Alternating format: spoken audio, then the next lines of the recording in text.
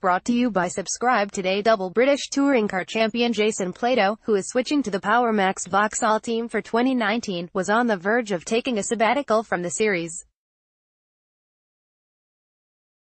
The multiple race winner had parted ways with BMR Racing after some turbulent times with the estate-shaped Subaru Levorg. Only one win in his last two seasons, while teammate Ash Sutton claimed the 2017 title, pointed to the fact that there was clearly something wrong on Plato's side of the garage. But that wasn't the reason he contemplated a year out. There were issues closer to home that were front and center on his personal radar. It was down to a mixture of things, says Plato. I have got a lot of stuff going on away from motorsport. My daughters are moving schools, which means a move of house. I was nearly at the conclusion that things like that are so important and I should take some time out. While the BTCC is only 10 race weekends, it is not. It is 24 hours a day on my mind and in my system.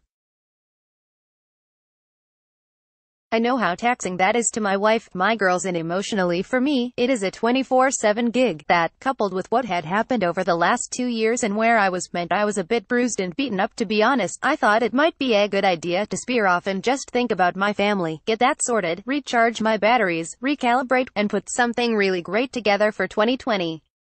That was a very real idea. Ultimately, my love of racing and seeing the passion my new team has that has swayed me. I love motorsport and providing everything we put in place all works as we have planned. It will be great. We have put the right sort of deal in place that works. If that hadn't been possible, I would have taken some time out. There is a romantic element to Plato's return to Vauxhall, a marque he raced for in 2001.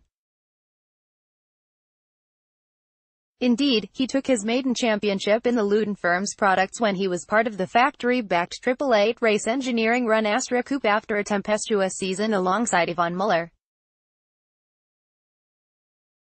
Plato returned to Triple Eight in 2012 when it was running the factory MG6 GT and remained with the squad until the end of 14. Some of the staff members at PMR came from that Triple Eight squad, including team manager Martin Broadhurst that has already given Plato a familiar feeling at Adam Weaver's PMR team.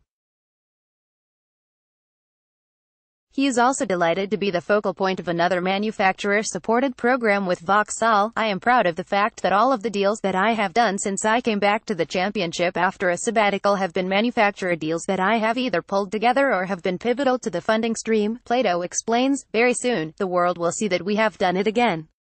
We have got a new exciting brand that we are bringing to motorsport and that doesn't happen by chance, that happens through hard work and graft and understanding the business that is motorsport. I am really chuffed that we have been able to pull this all together as a competitive program. The 51-year-old is desperate to return to the front. He had been in the title hunt going into the final meeting during every season he had contested since he returned to the competition in 2004 with seat, apart from the last two painful years. And there is another benchmark on his horizon. His 97 wins include BCTT class wins in 2001 and also the penultimate race of that season, when he finished behind Anthony Reid's Invitation Class MGZS, which was ineligible for points. That means he is on the verge of setting what would be a staggering record in terms of overall race success, and even, he acknowledges that it is the hunger for individual results that might have derailed his title bid during some seasons. It would be lovely to get to 100 wins, there's just three more to go, said Plato. But that's not the focus. The focus is to win races and the championship, and one will follow the other. What is more important is that each weekend we are competitive, and we are fighting at the front. The concept of winning a title by coming third at every meeting doesn't appeal to me though. It doesn't me up, that's not what it is about for me. If the win is on, I want to go for it. I want to leave weekends with race wins under my belt.